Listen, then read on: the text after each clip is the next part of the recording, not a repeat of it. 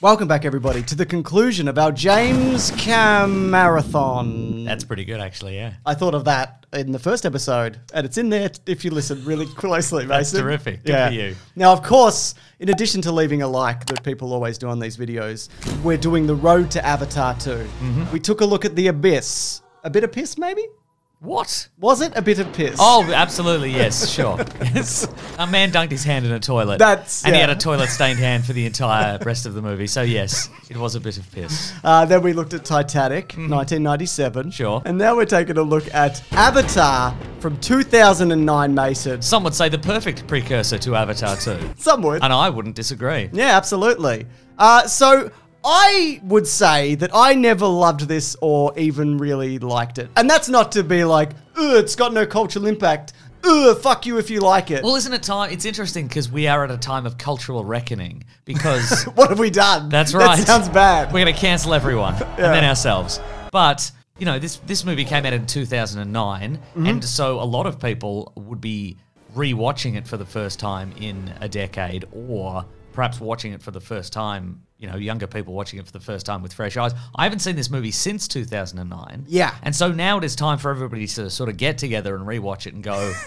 Is this anything? Is this anything? Yeah. It's it's it's Schrodinger's cat person. It's uh sure. in a lot of ways, we don't know if it's good or not.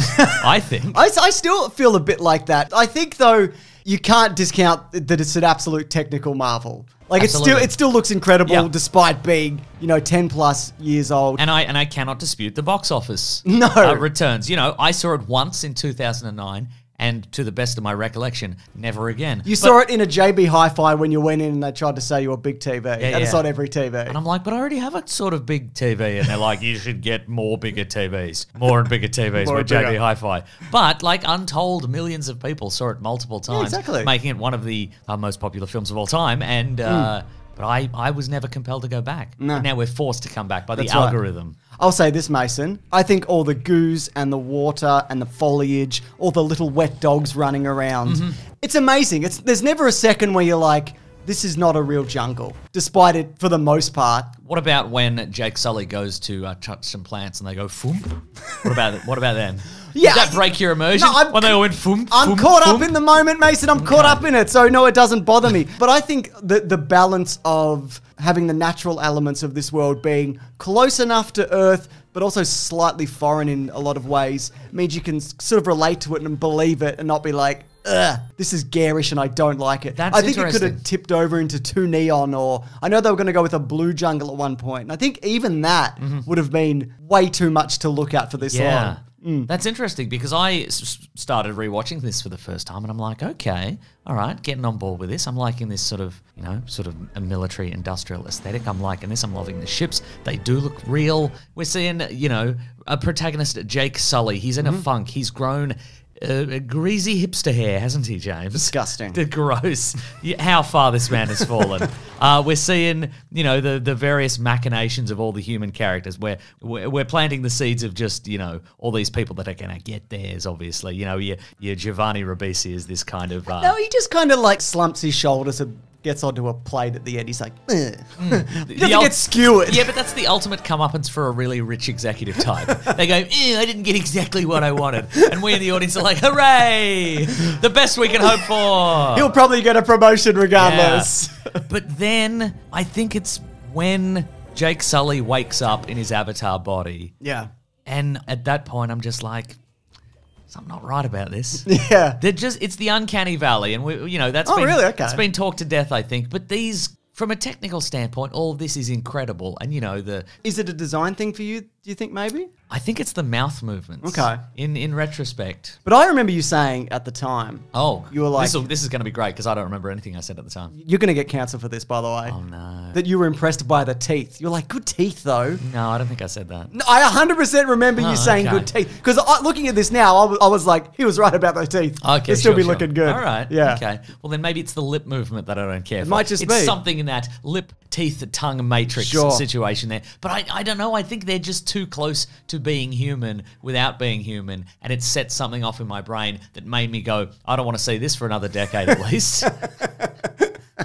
we, we talked about this when we talked about Titanic, I think. Yeah. Titanic is a, you know, wonderfully produced movie that that looks incredible and brings you back to another time, but you know, to the bare bones of it, it's just a a fairly simple romantic Yeah. drama premise, and this is kind of the same. The, the world does look amazing, but it is just kind of, you know, As people say, it's Pocahontas and well, Ferngullion, exactly, etc. Jake Sully is brought into this mix of uh, of, the, of this, you know, this this military corporation, and then he's brought into this world of, of beautiful, soulful native people. And there's scenes where he's, uh, you know, he's he's strategizing with the military types, and they're like, "Yeah, we're gonna get those." When you get those Na'vi, we're gonna we're gonna steal their stuff. We're gonna get them. And Jake Sully's like, "Yes, And I think I'm on board with this. I'm not gonna turn at any point." Of course he is. Come on. I, I, I think, look, similarly for me, I want to be like swept up in this Mm-hmm. world in the way that I know so many people are. I want I want to be caught up in like the emotion of it and the romance and fall in love with the creatures and the people and all of that and look at all the shiny trees and rocks. You sure? I, I look at this for the most Put that on the poster. Look at all the shiny trees and rocks. I mean, there's obviously that moment where they they go to a region of the of the of the world where there are just giant uh, Floating mountains and floating stuff, mountains yeah. and stuff, and that was pretty incredible. Yeah, but that's the thing though. I look at this and I don't feel anything. Hmm. And I don't think it's because it's artificial. I think a big part of it is that I don't like Jake Sully. Okay. And I don't necessarily think this is a performance thing, but just the way he kind of rolls into a new environment and he's just like poking stuff. He's like, "What's this?" and he's pointing his gun and he's yelling at creatures and he's just a moron. Okay. And I, I just, and like you said though, he's also so transparently stupid that you know that he's going to turn. Okay. But, but I didn't say transparently stupid. You put that word in my mouth, like that thing that I said about the teeth that I didn't say. but the fact that he, that he walks into this environment in this body that's probably worth a billion dollars plus and just nearly immediately burns it, just nearly immediately just wrecks this piece of technology because he's just a moron. Like he's, and I just, I don't, I don't like him. I don't believe him. I don't like it when he gets their big tree shot down and then he's like, You had to know that I knew this was going to happen, but I was here to tell you that you should move. Hmm. What do you what? What do you mean? That's not an excuse. Would you say that it is similar to the plot of the movie Armageddon, where they send uh, what is it, drillers? What who are that? What are the guys? yeah, uh, yeah, oil drillers or whatever. No, well, yeah, to to do the job of, uh, of of scientists. Yeah. Is it that it doesn't make sense that they would get this guy in? Yeah. When they could have just because the the the Na'vi body, the Avatar body, was expensive, and he shares DNA with his brothers. Wouldn't it make more sense that a multi-billion trillion dollar corporation that runs stuff around the entire galaxy Yeah. would just build another body and, and, and have it controlled by somebody who might act appropriately for the situation. I completely agree. And I think, but at the same time, they also demonstrate why that's not a good idea because he's like the best guy on the planet. Mm. But I think the reason that he is. Yeah, kind of worked out pretty well for him, didn't it, James? Yeah, well, that's the thing. Egg on your face. Yeah, but I think- Alien Na'vi egg on your face, probably blue. I think the reason Or green, different color than a regular egg. But I think the reason he's the best guy on the planet is because he's so empty headed and he just runs into environments without thinking. Mm. Like, you know how he gets the big red bird, and that's Uh-huh. really impressive. I think anybody who's got the big red bird, that's anybody who's stupid enough to attempt it. Sure. Because a normal person wouldn't do that. Yeah, And I think also if I got the big red. A lot of chosen ones at the bottom of a chasm. exactly. but I I think. think I'm probably the chosen one. I reckon I get that bird, the big red bird. I reckon. Easy as just jump on and put my put my hair thing in its neck or whatever. Easy as, mate. I think if I got the big red bird also, I would just tell everybody how to do it. Oh yeah, you just go above the bird. Like I don't think it's really that much of an ancient mystery. I guess the trees like him or whatever. It's more an angle thing. It's more about It's trigon- more- It's more trigonometry. It's more trigonometry, yeah. You know, Should have got that other nerd to do it. Then he Well, could have figured it out. I don't like the other nerd either because, okay, to be fair though, Jake Sully should have read literally anything about this world that he's going to. Mm-hmm. Because there's so many moments where he's like, What's the big floating mountains? And the guy's like, What are you, an idiot? You don't know the big floating mountains? Oh, you're here to interact with the Na'vi, are you? Uh, name five of their sacred rituals. Yeah, he's a weeb, basically. He's a weeb for this fucking planet. So I don't like him either, though, because he's Who just, do you like in this movie? I like, uh, I like Giovanni Ribisi because he's slimy. Yep. I like Sigourney Weaver. Take Yep. no prisoners. Gets out of the pod, immediately starts smoking. Loved yep, it. I like Zoe Saldana. I like the dude with the big scar down his face. Oh, I like scar him. face, sure. Yeah, I like all of that. I like Michelle Rodriguez. She's in this. She is. I'd forgotten, but she is. Yes. I don't know. I just think he's just really unpleasant and stupid, and he just he he's got a complete lack of self awareness. I don't know, and it, I just. I just don't like him, and I don't know why the trees like him. I don't get it. Right, uh huh. Because they can twist him, I guess. I guess that's why they like him. You know, because they can make him do something. sure.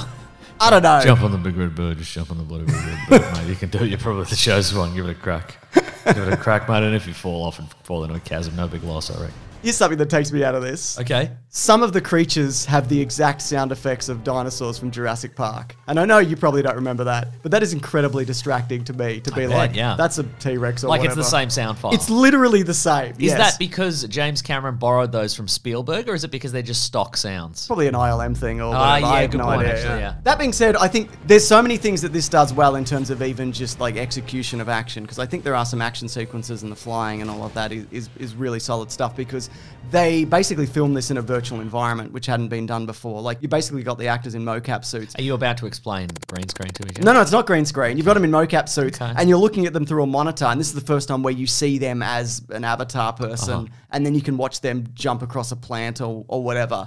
And that's How are we going to get over this plant? Or whatever. I know. we've done it. We've done- and now the tree likes me. I think. Yeah. Uh-huh.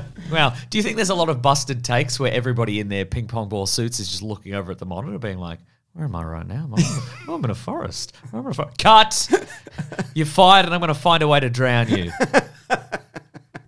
I guess we we need to talk about also uh, the 3D element of this, which obviously is lacking now if you're watching it on a regular TV. Unless you're the one guy who bought a 3D TV. I did have one, but it was by default, Mason. It just came with my TV, and I turned it on once and went, "Hate this." But I Get remember a load of this guy. oh, my steak came with caviar. It just comes with that.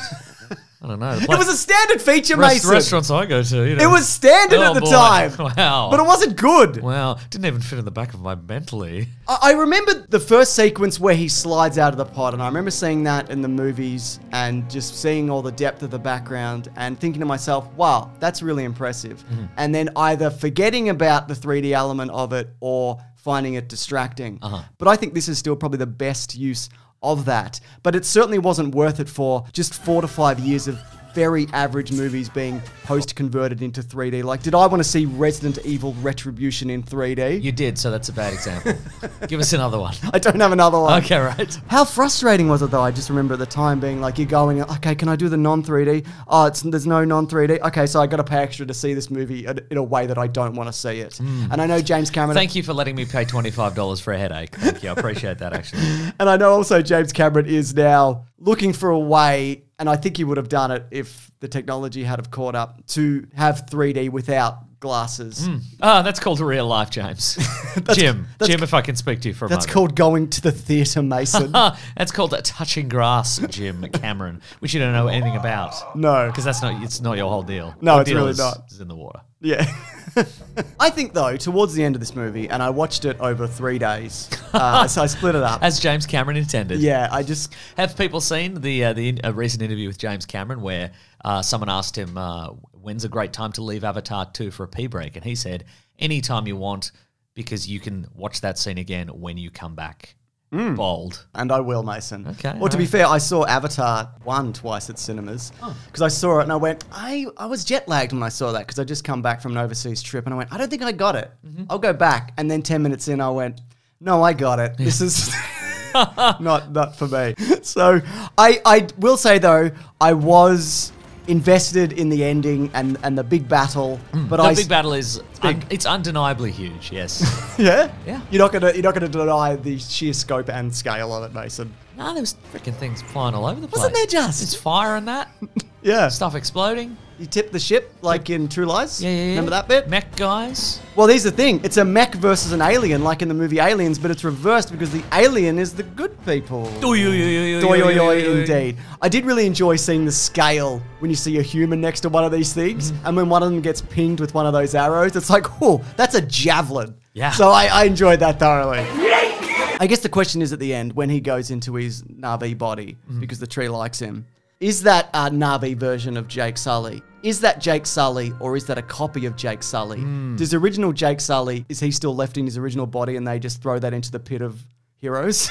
Oh, it's the classic. Uh, it's the classic transporter question. Exactly. When someone is transported in Star Trek, are they moved body and soul to a new location, or is the original body torn into its component molecules and tossed across the universe? And then when they're put back together, it's just a completely different guy, and the original's dead. yeah, I think the second one. I agree. No, I think it's a soul thing. Yeah? Yeah, You think it's a soul because thing, it's the tree and the thing and the magic. I don't know because the way they talk about the technology of this universe or the magic Mm-hmm. is that it's a big internet. Remember Sigourney Weaver's like, this tree's an internet, you don't know nothing. And Gianni Mm. Yeah, but she didn't have a full understanding of the tree. and you do? Yeah, Okay. I've seen this movie twice now. yeah, yeah, I guess you do know what's going on with Okay, well maybe it's maybe it's more accurate to your theory, and in the second one he'll just be every thirty seconds he has to stop what he's doing. He has to stop the hunt with the Na'vi because he has to remove pop-ups from his field of vision. it's got malware. It's like one of those news sites you open. There's a there's an auto playing video in the corner. Where's the X to get rid of it? I can't. And he, and you know he's like, I, I just want to do this ritual, but I've looked it up, and there's a huge backstory at the start of it. Oh, you know what I would love? Mm-hmm. If in any of these sequels, there's original Jake Sully who didn't get transferred over. Oh, you and think he's got his greasy hair back? Yeah, and he's 'Cause gone. sad. He's gone evil because he couldn't live with the trees or whatever. That's pretty good. I like that. that. a lot. I like that idea that I have. I'm good, and I know what I'm doing. Mason, Yes. is it time for green trivia? And when that guy shouts, Rodney. Yes. Rodney! Rodney! Rodney! Rodney! Rodney! Rodney! Director James Cameron. Now you know this more than anybody, Mason. He's known for being tough on set, and he Do allegedly. you think I know that better than anyone, or, or any of the actors he's worked with or crew members? I think you have a fair understanding, but maybe not as much as the people he tried to drown. Yes. Yeah. Uh, he allegedly kept a nail gun on set that he would use to nail cell phones that had the misfortune of ringing to a wall uh, above the exit sign. So your phone goes off. Wow. Yeah. I think he just wants to work at one of those, you know, those bars where everybody's rude to the customers. and if you come in with a necktie, I'm going to chop that necktie off because if this place is, a, it's we're here to work, we're also here to party. Imagine, but you're a, you're one of his assistants. You have to go down the hardware store to buy a nail gun. Yeah, this is James Cameron. Yeah, he's going to nail people's phones to the wall. Is he allowed to? No. But he, uh, but he's, he's doing it.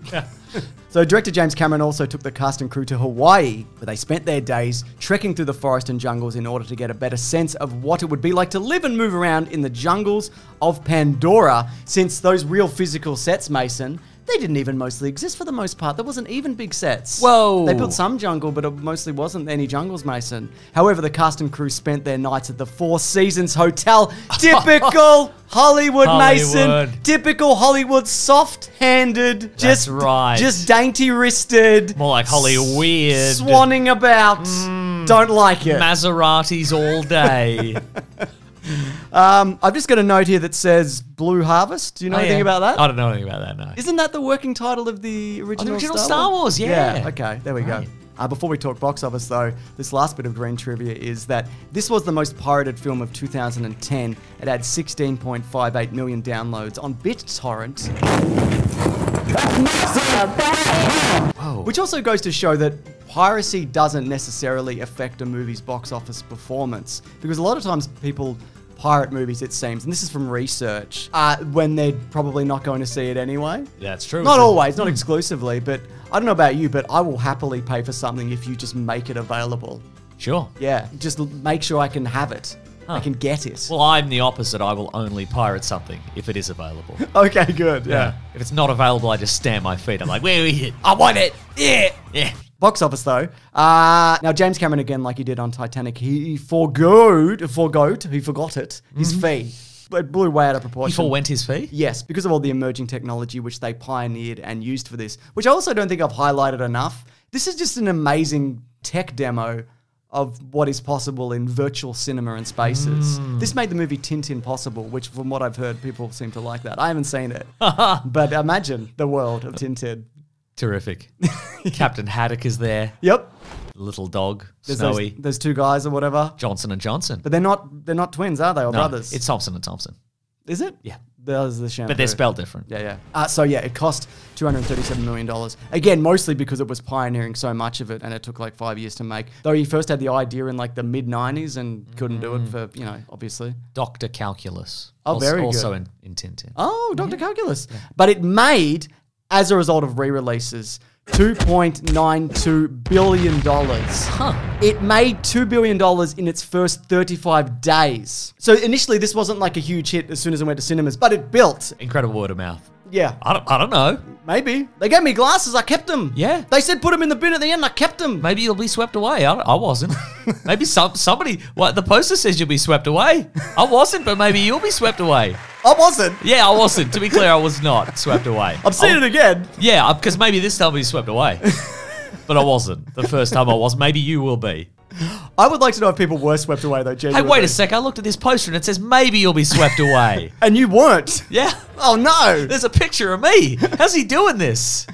So yeah, so this not pioneered, but it really solidified, and this is also after like Lord of the Rings, that December is a key window to open in for a blockbuster because you've basically got a clear run to like February. That's true. And this definitely had that. It was also bolstered by 3D because tickets were more expensive, which obviously makes sense. You've probably heard this story also, Mason, about Matt Damon, how he was offered the role. Oh. So he was offered 10% of the movie's income Ah. if he took on this role, which I'm pretty sure that Sam Worthington wasn't offered. I'm pretty confident. Interesting. Yeah, Okay. I'm pretty confident. Okay, but was was Damon offered ten percent of the gross or ten percent of the net? Because as I understand it, in a lot of Yeah. instances, they're like, "We'll give you ten percent of the profit." Oh, we didn't make any profit. That's weird. You owe us money. Yeah, that's right. I mean, we made we made two point nine billion dollars, but the parking was really expensive, so actually we didn't make we didn't make anything. Well, apparently he would have made about $250 million. Okay. So, however that works. But no, he was committed to the Bourne franchise at the time. But look, I'm sure he made up for it in crypto scams or whatever. Mason! Mason. Yes, I'll- I'm tut tutting because you didn't give me the chance to also make that joke.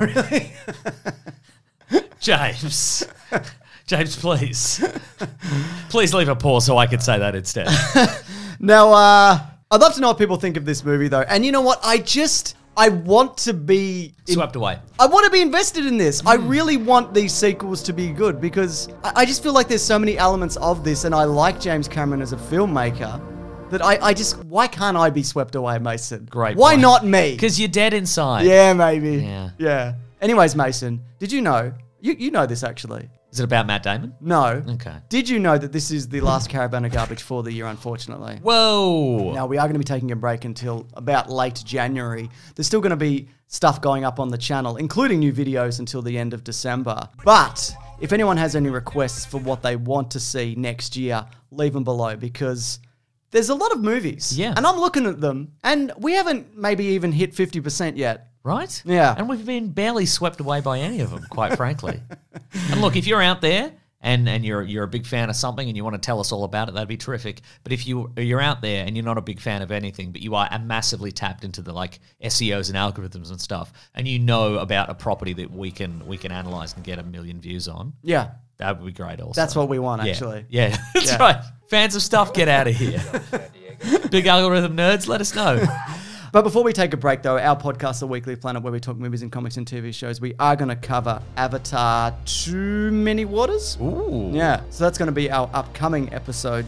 And in addition to that, you can actually hear that early on Sunday as opposed to Monday, including seeing videos like this early, including bonus podcasts, including movie commentaries if you head over to our private Patreon at bigsandwich.co, which is also legally distinct from Patreon, isn't That's it, Mason? exactly right, yes. We haven't been threatened yet, but it's good to get ahead of it. Mm-hmm. You know? Yeah. We don't have a crypto money. We don't have that That's to- true. To, protect ourselves. But I just want to say a big thank you to everybody for supporting us this year. Mm-hmm. Again, there's still videos going up before the end of the year, including right. the biggest bombs and hits of the year. But uh, we really, really appreciate it because it means that we can both do this and have and earn somewhat of a living from it. That's terrific, isn't Yeah. it? Big, big time thanks for everybody who watching these videos. Click and like. That's right. Click And, and subscribe. and big time thanks to both Ben and Laurence who edit these. That's right. Because that can't be very fun, I'd imagine. Absolutely not. All right, thanks everybody. Grab that gem, you guys. Merry Christmas, if I can even say that these days. No, you're under arrest. Oh my God! Well, happy holidays. Tim Allen's coming to get you. No. No, or to save you? What, what does he think? I can't remember. I don't care what he thinks. See you next year. Bye. Uh, but still towards the end. Yeah, yeah, yeah, more don't- don't leave, don't yeah, ever leave. And there'll be Yeah. stuff going up regardless. Just Like- watch old videos and imagine we're still around. But there's also going to be compilations Yeah, of stuff going up, so don't even worry.